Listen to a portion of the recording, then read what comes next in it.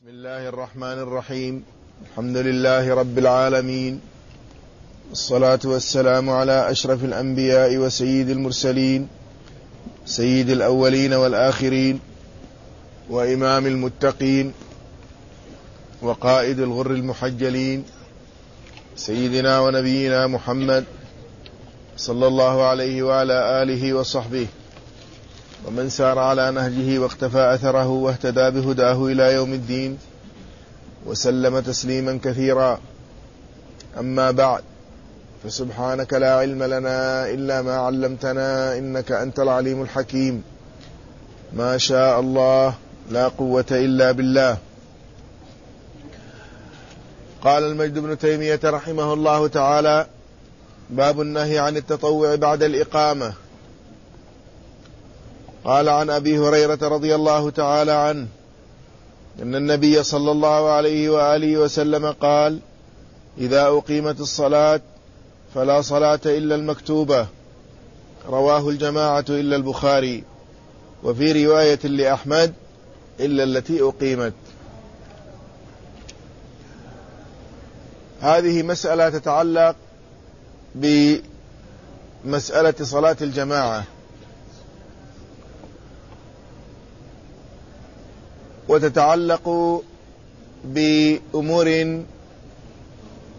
في مسائل في قضايا الصلاة.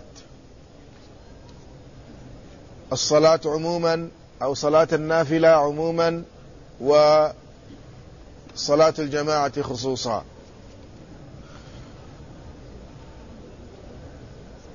والمجد بن تيمية رحمه الله ترجم بقوله باب النهي.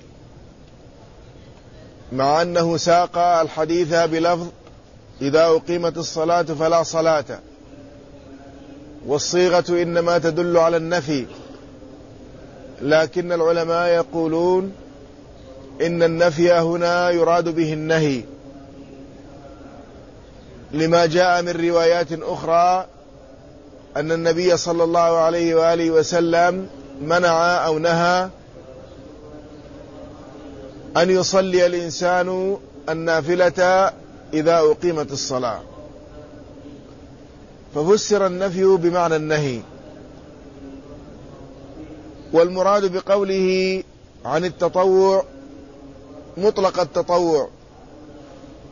ويندرج في ذلك ركعتي الفجر. وهذه المسألة وهي مشروعية صلاة النافلة وقد أقيمت الصلاة من الأمور التي عرض لها الفقهاء وتناولوها بشيء من التفصيل. ولذلك ذكر المصنف رحمه الله أو ذكر الشارح رحمه الله في هذه المسألة أقوال متعددة لأهل العلم. هل النهي هنا لمطلق التطوع؟ أو يستثنى من ذلك شيء. فالذي ذهب إليه الفقهاء أن النهي مطلق يشمل كل صلاة نافلة أو كل تطوع ما عدا الفرض. فيدخل في ذلك ركعتا الفجر وغيرها من السنن الرواتب. وغيرها من النوافل كتحية المسجد. وأي صلاة لها سبب؟ إذا دخل الرجل المسجد وقد أقيمت الصلاة فلا ينبغي له أن يدخل في تطوع. واستثنى كثير من الفقهاء ركعتي الفجر. واعتبروا هذا الحديث مخصوص بركعتي الفجر. فإنه إذا دخل الإنسان المسجد وقد أقيمت الصلاة لصلاة الفجر ولم يصلي ركعتي الفجر من الفقهاء من يرى مشروعية صلاته لركعتي الفجر. ومنهم من فصل بأنه منع أن تصلى في داخل المسجد لكن يصليها خارج المسجد. ومنهم من كان تفصيله متعلقا بإمكانية الأداء بمعنى أنه إذا أدى الركعتين قبل أن تفوته الركعة الأولى من صلاة الفجر فلا بأس. أما إذا كانت صلاته النافلة تفوته ركعة أو ركعتين على رأي البعض تفوته الركعتين فلا. وهذه الاستثناءات التي ذكرها الفقهاء لم يقيموا عليها أدلة تستثني ذلك. بل الذي جاءت به الروايات أن النبي صلى الله عليه وآله وسلم نهى أن يصلي الإنسان النافلة ما دامت الفريضة قد أقيمت لها. وما ذكره الفقهاء من مسألة ركعتي الفجر فقد ساق الشارح رحمه الله. أحاديث كثيرة تدل على إنكار النبي صلى الله عليه وآله وسلم لمن دخل في ركعتي الفجر وقد أقيمت الصلاة. تارة باللفظ وتارة بالفعل. أما باللفظ كقوله عليه الصلاة والسلام أصلاتان أو كقوله الفجر أربعا لمن رآه يصلي ركعتي الفجر ركعتي الفجر قبل أو بعد أن أقيمت الصلاة وقبل أن يدخل مع الإمام. وأما بالفعل فكونه صلى الله عليه وآله وسلم كان ينبه بعض الناس بأن يرتب على منكبيه وينبهه بأنه إذا أقيمت الصلاة فلا صلاة إلا التي أقيمت لها. إلى غير ذلك مما ورد عنه عليه الصلاة والسلام في أن النهي عام يشمل كل النوافل وكل صلوات التطوع بما فيها ركعتي الفجر. وهذا هو الرأي الذي رجحه الإمام الشوكاني رحمه الله. مما يدل على أن الصلاة إذا أقيمت لا ينبغي لإنسان أن يشتغل بغيرها بل عليه أن يبادر للمشاركة. وهنا يذكر الفقهاء مسألة وهي إذا أقيمت الصلاة والإنسان منشغل بصلاة أخرى ماذا يفعل؟ أيقطعها أو يتمها؟ أو أنها هي باطلة بمجرد الإقامة. هذه أقوال للفقهاء. فمنهم من يرى أنه إذا أمكن إتمام الصلاة قبل أن تفوت الركعة الأولى أتمها. ومنهم من يرى أنه يقطعها. للأمر الوارد من النبي عليه الصلاة والسلام بأنه لا صلاة. بمعنى أنه لا صلاة شرعية أي لا تصح الصلاة فيقطعها. ومنهم من يترخص في ذلك ويقول يتمها خفيفة.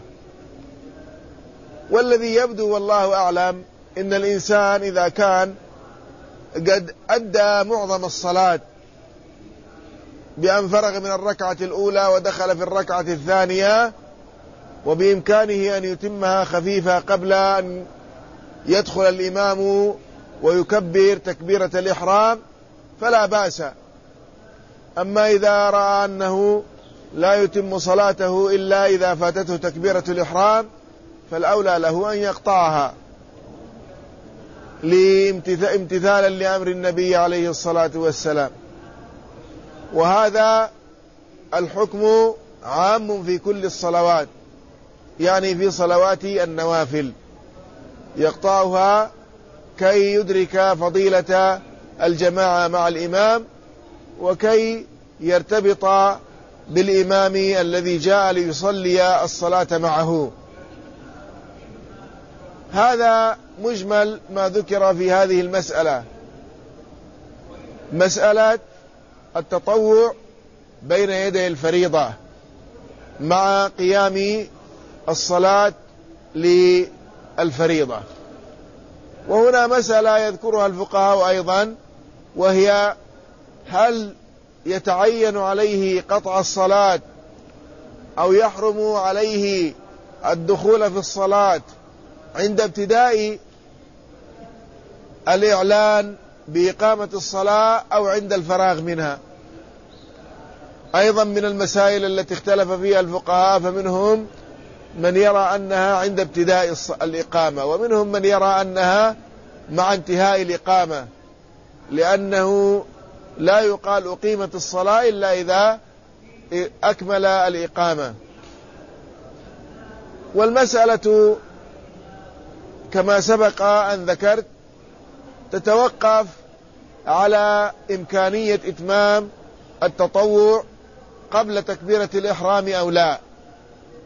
فإذا رأى المصلي أنه يتمها خفيفة قبل الدخول دخول الإمام وتكبير التحريم في الصلاة فالذي يبدو والله أعلم أنه يتمها حتى لا يضيع ولا يبطل عمله. ولأن من أدرك مع الإمام تكبيرة الإحرام فقد أدرك الصلاة من أولها ونال فضل تكبيرة الإحرام. لكن إذا كان هذا يؤدي إلى أن تفوته الركعة أو يفوته شيء كثير من الصلاة فلا. لأن الشارع إنما حرص على الجماعة. وحرص على أن يصلي الناس صلاة واحدة. وأن تكون صلاتهم يعني في المسجد مع الإمام لأنه إنما شرع الإمام ليؤتم به. ساق المصنف رحمه الله حديث أبي هريرة رضي الله عنه بقوله إذا أقيمت الصلاة فلا صلاة إلا المكتوبة. والمراد بالمكتوبة يعني الواجبة. المفروضة كما قال تعالى إن الصلاة كانت على المؤمنين كتابا موقوتا. وهل المراد به كل صلاة مكتوبة أو المراد به الصلاة المتعينة؟ قال المراد به الصلاة التي أقيم لها كما جاء في الرواية الأخرى إلا التي أقيمت يعني أقيمت الصلاة لها. ومعنى هذا أن الإنسان لو كان يصلي فريضة جاء مثلا متأخر يصلي الظهر وأقيم الصلاة العصر فهل يدخل في هذا النهي؟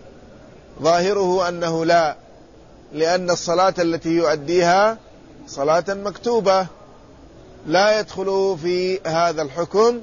وإنما المراد به صلاة النافلة والتطوع. قال الحديث رواه الجماعة إلا البخاري فرواه مسلم وأبو داود والترمذي والنسائي وابن ماجه وأحمد. وزاد في رواية لأحمد إلا التي أقيمت أي لها الصلاة. يقول الإمام الشوكاني رحمه الله متعقبا قال وفي الباب عن ابن عمر عند الدار قطني. في الأفراد يعني في كتابه الأفراد. وهذا حديث ابن عمر مثل حديث أبي هريرة. قال العراقي وإسناده حسن. قال وعن جابر عند ابن عدي أي أيوة وفي الباب عن جابر بن عبد الله رضي الله تعالى عنهما عند ابن عدي ذكره في كتابه المشهور المسمى بالكامل. مثله يعني مثل حديث أبي هريرة. لكن يقول وفي إسناده عبد الله بن ميمون القداح. قال البخاري ذاهب الحديث.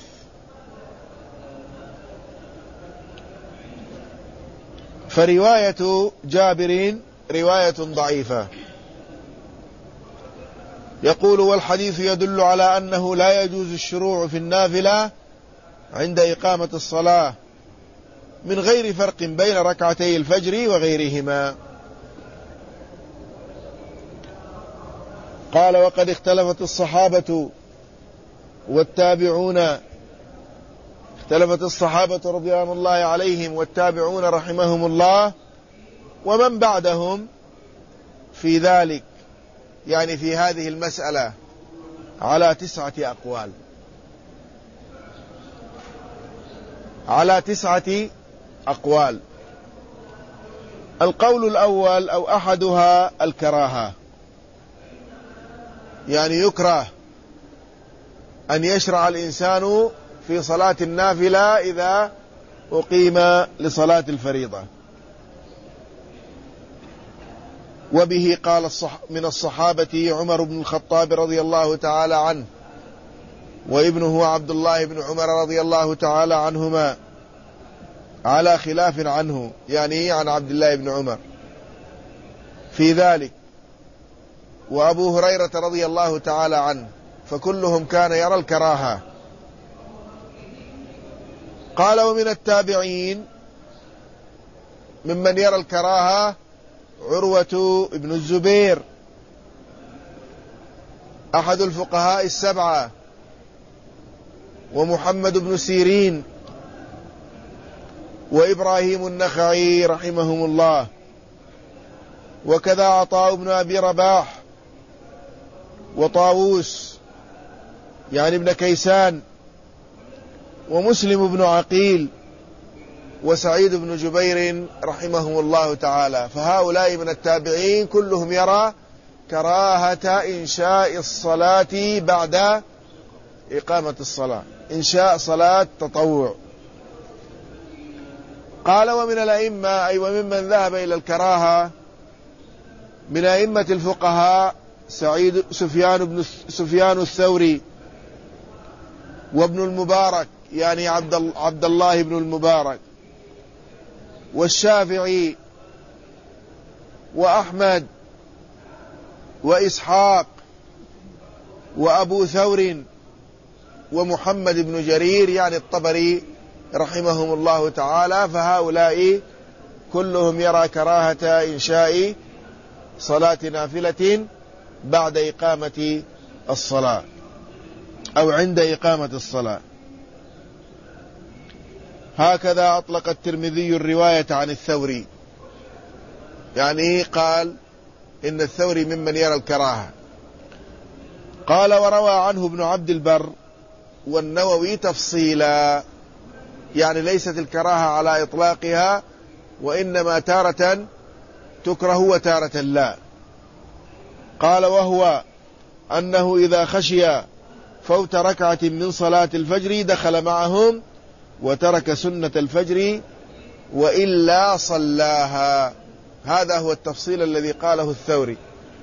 يعني هو يرى الكراهة في عموم النوافل واستثنى حالة خاصة في ركعتي الفجر. ذلك أنه إذا جاء والصلاة يعني عند قيامها.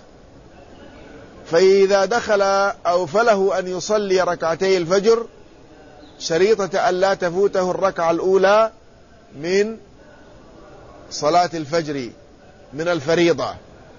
فإن قدر أنه لو صلى ركعتي الفجر تفوته الركعة الأولى لا يدخل في الصلاة. يكره له أن ينشئ تحية أن ينشئ ركعتي الفجر. أما إذا قدر أنه يمكنه أن يتم الصلاة أعني ركعتي الفجر قبل أن يركع الإمام فله ذلك.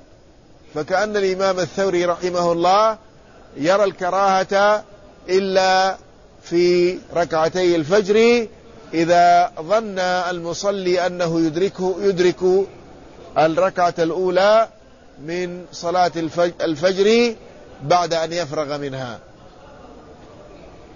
فكأن الإمام الثوري رحمه الله يعني قوله في الكراهة مبني على هذا التفصيل. قال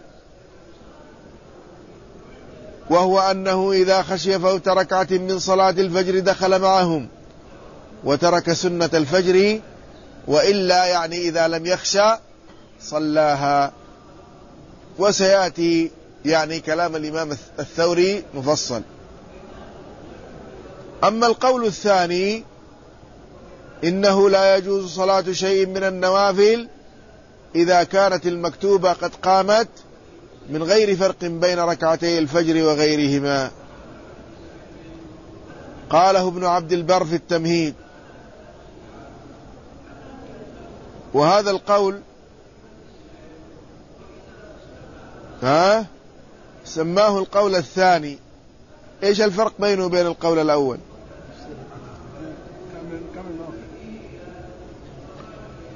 القول الأول هو إيه؟ من قال؟ رأي الجمهور هل فيه تفريق؟ ما في تفريق رأي الجمهور. ها؟ وإنما التفصيل عند الإمام الثوري فقط. وإيش الفرق بينهما؟ لا يجوز بمعنى أنه يحرم. القول الأول أنه يكره. ها؟ أحدها الكراهة.